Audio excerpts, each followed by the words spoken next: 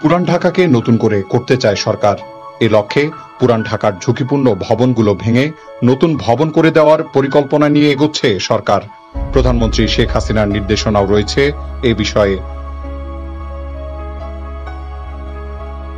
গৃহায়ন ও গণপূর্ত মন্ত্রী সমর রেজাউল করিম শনিবার ঢাকা রিপোর্টার্স ইউনিটে ইমারত নির্মাণে সরকারের দায়িত্ব ও নাগরিকের করণীয় শীর্ষক মিড দ্য প্রেস অনুষ্ঠানে এ তথ্য জানান। মন্ত্রী বলেন, ঢাকা শহরের বয়স প্রায় এক হাজার বছর। শুধু নির্মাতা অপরাধী না, অপরাধী যাদের উপর দায়িত্ব ছিল কাজ করেন নাই, আমার দৃষ্টিতে তারা অপরাধী।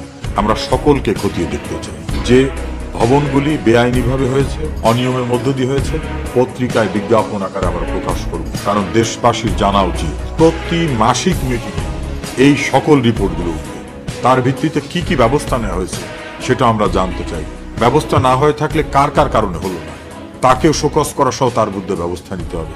প্রয়োজনে যদি কেউ কাজ না করেন, তাদের চাকরিচ্যুত করে বাড়িতে ফেরত পাঠানো হবে। এর অর্থ হচ্ছে, পুরান ঢাকার পাঁচ কাঠা জায়গার ওপর কোথাও কোথাও তিনটি ভবন আছে। সেগুলোতে ইটের ব্যবহার করা হয়েছে, কিন্তু সিমেন্ট, রডের ব্যবহার কম।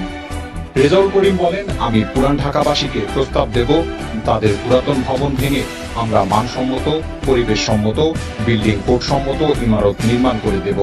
তিনজন মালিক অনুপাত অনুযায়ী যে কয়টা ফ্ল্যাট পেতে পারেন, আমরা তা দিয়ে দেব, যাতে পুরনো ঢাকায় ঝুঁকিপূর্ণ ভবন না থাকে। বর্তমান অবস্থায় পুরান ঢাকাকে একেবারে ঝুঁকিমুক্ত করা সম্ভব হচ্ছে না বলেও জানান মন্ত্রী। তিনি বলেন, ফায়ার সার্ভিসের গাড়ি যাওয়ার মতো অবস্থা নেই। রাস্তা প্রশস্ত করতে হলে অনেক বিল্ডিং সরাতে হবে। সেখানকার ভবনগুলোর অবস্থা এতটাই নাজুক। একটা ভবনের ইটে আঘাত করলে পুরো ভবনটাই ভেঙে পড়তে পারে, এমন স্থাপনা রয়েছে।